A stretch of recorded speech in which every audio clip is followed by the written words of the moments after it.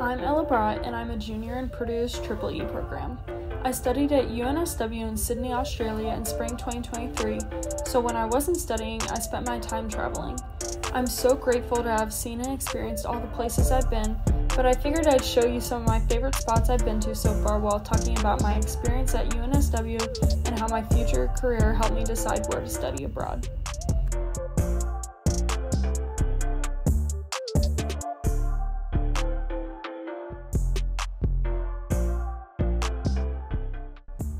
I chose environmental and ecological engineering because after college, my goal is to have a career in sustainable building strategies to create a more resilient future. During the semester at UNSW, I studied living architecture, which allowed me to gain a greater understanding of how green roofs and green walls can aid in the reduction of the effects caused by the urban heat island.